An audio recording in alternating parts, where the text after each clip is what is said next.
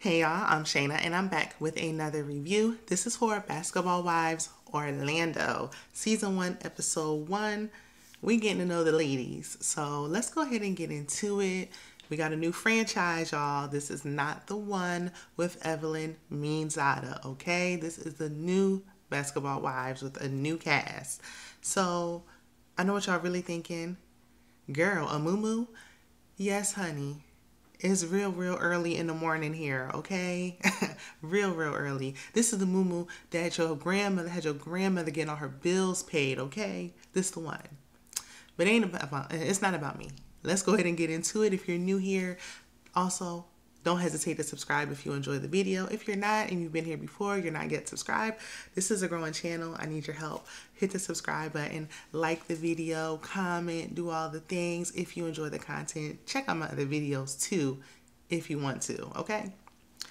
So we start off with Megan James, who's not so new, okay? She was on the LA franchise. I didn't watch those seasons that she was on there. I am familiar with her from the Bad Girls Club, and she, you know, is just a full grown bad girl still.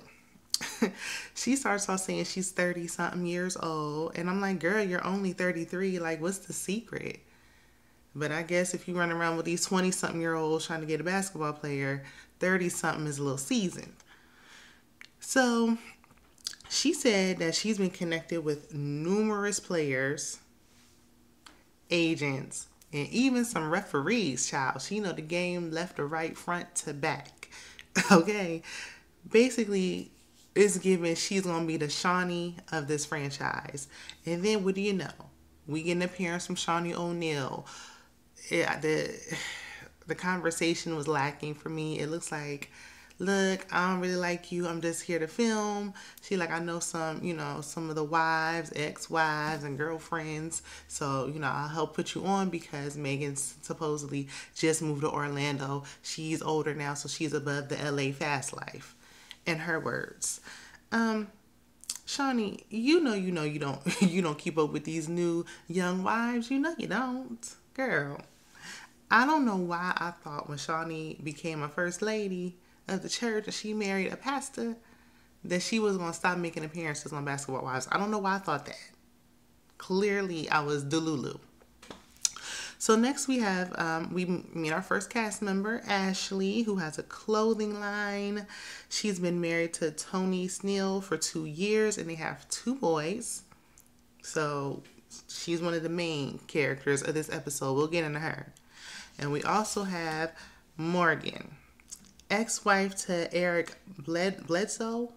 If I mess up some of these players' names, forgive me. Okay. she has three children with her ex and is considering moving to Orlando permanently um, for a business venture. She wants to open a beauty school. Now, Morgan was friends with Ashley, but Ashley, she found out Ashley was bringing women to some of the NBA players' while they was on the road, including her husband. So she feels like, okay, Ashley, you bringing your friends around, bringing these loosey gooseys around my man, you can't be trusted. You're no friend of mine. Um, they show footage from the summer prior. So Morgan and Ashley were getting into it last summer or whatever that was when they filmed. And I'm like, how long y'all been filming the show? I don't know if it was a pilot to try to get the show picked up or what's going on. But they was filming the summer before, they was cool, and then they fell out.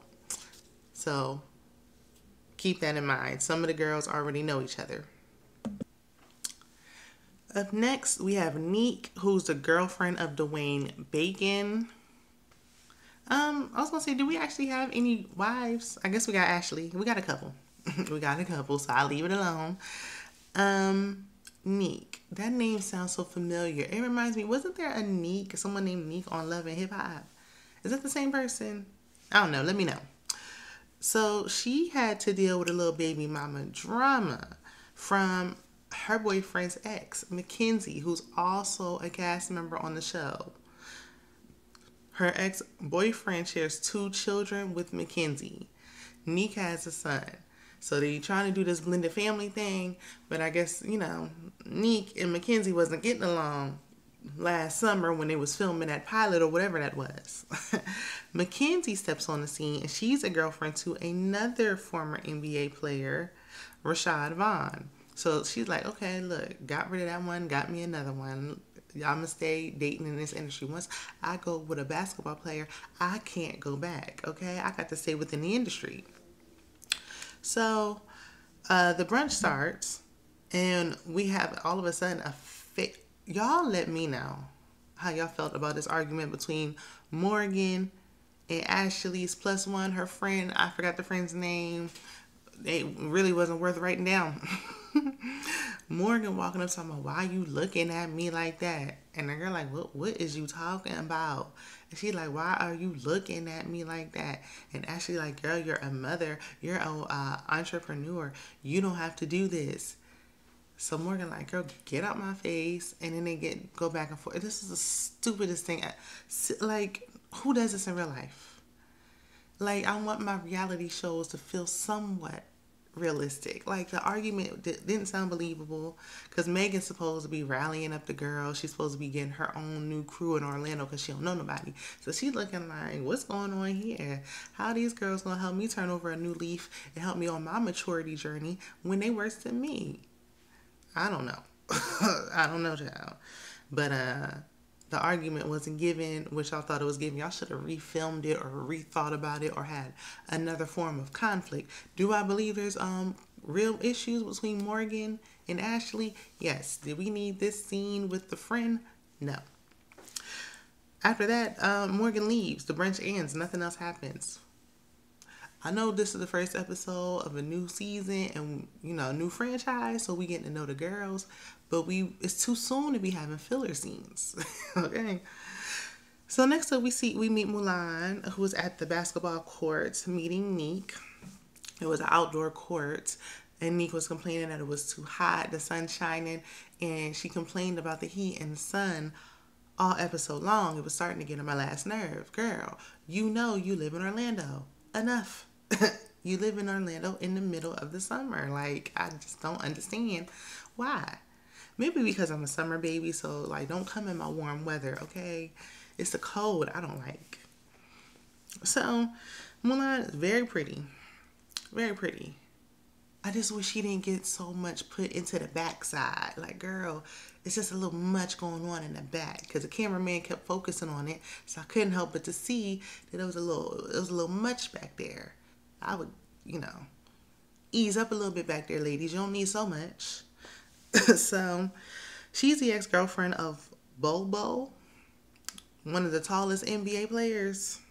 She's a former uh, college basketball player herself, so she knows a little thing or two about basketball. And she's also a content creator. Nika's a content creator as well. She got a large, she got the largest following out of all the ladies. So y'all know something I don't know. I don't keep up with the influencer girlies. Let me know if I need to check out the IGs.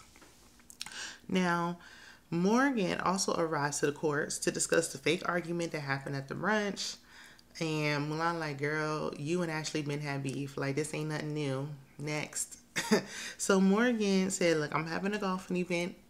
Everybody's invited. They like everybody. Yes, all the ladies are invited. Okay, we gonna see how that go. We see Ashley have a date night with her husband. Boring snooze fest. Next, Mackenzie speaks to Neek one on one. She's dropping off one of her kids to the house, and she says she rented a house for the summer three doors down from her ex to work on their co parenting relationship. I would never. I don't want to be that close to anybody, okay? I had a former friend that used to live across the street from me. And notice I said former. It's just too close for comfort. Especially, I don't need to be that close next to my baby daddy. Three doors down. Uh-uh, I don't got to do all that to work on no co-parenting relationship. You want to see this child? You know where I'm at. We can meet at the Target.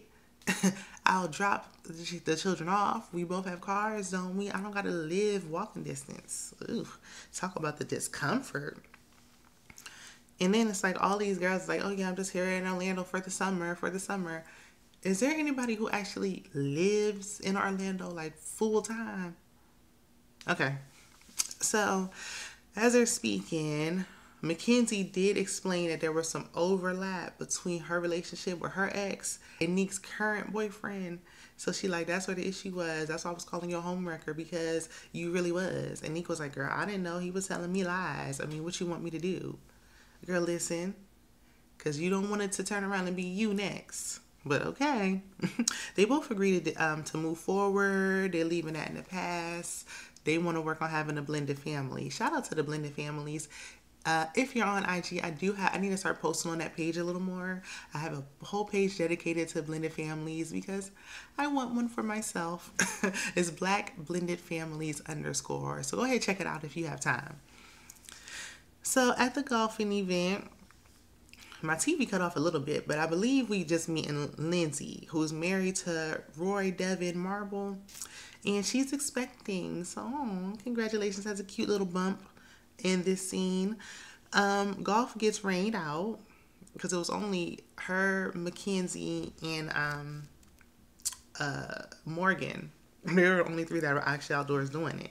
So it gets rained out thanks to that Florida weather. You know, Florida weather will be raining on one side of the street, sunny on the other. It rained for two minutes and then it's sunny again. And everybody be like, oh, that's just Florida weather. That in them gators is why I would never live in Florida. Well, Florida's just crazy. Florida is unhinged. I couldn't do it. but especially that rain comes some, that would get on my nerves. So Nick is excited because, of course, she keeps complaining that it's so hot. she don't want to be out there. Megan bought Nikki. I didn't catch. Is Nikki with a ball player? Cause why she here? Last I know, Nikki is from being four from Black Ink Crew's former girlfriend. And now we know Ford been doing some wild, he a wild boy. He been doing some stuff out on them internet streets on his OnlyFans. And Nikki said, don't associate me with him. So, and it's embarrassing. Okay. so Lindsay calls out because they, they, they eating now. They're at the table. We Got to have some good food. You know, that they don't feed the people. The people will start complaining, saying they're not getting fed on these shows. So Lindsay calls out Megan because she like, does anybody have anything at the table they need to get out? And Morgan was like, yeah, Mackenzie. And Lindsay was like, actually, or not Morgan, Megan. She was like, actually, Megan, I'm talking about you. Is there something you want to tell Morgan? And everybody was looking like, hmm, what? Look from side to side, huh? So Megan tells Morgan that she did used to mess with that ex, okay? she went out on two group dates with her ex husband and she never mentioned it because every time she saw her, it was in a group setting. So she never felt like the time was right to bring it up. Like, when am I going to bring it up? I don't want to bring it up in front of everybody. Uh, you could pull her to the side and be like, girl, can I, can I talk to you over here and tell her? But you know, that's neither here nor there. So Morgan looks pissed. She looking like, oh, really? But she was like, look, I already knew when the divorce came, everything was out on the table. Now, I didn't know if y'all slept together or not. And I still don't. Because Megan, like, we ain't never do nothing. And Morgan, like, mm-hmm, yeah, okay, girl, whatever you say. Everybody was messing with my man. I already know. But um, I still welcome you to Orlando with open arms, girl. I don't care. It's fine. That's what she say. Let's see how the season go. And what you mean you welcome her to Orlando with open arms? I thought you was trying to decide if you want to move there permanently. You don't need to live there. Girl, we got to get some basketball wives who live in Orlando if you're going to be in Orlando.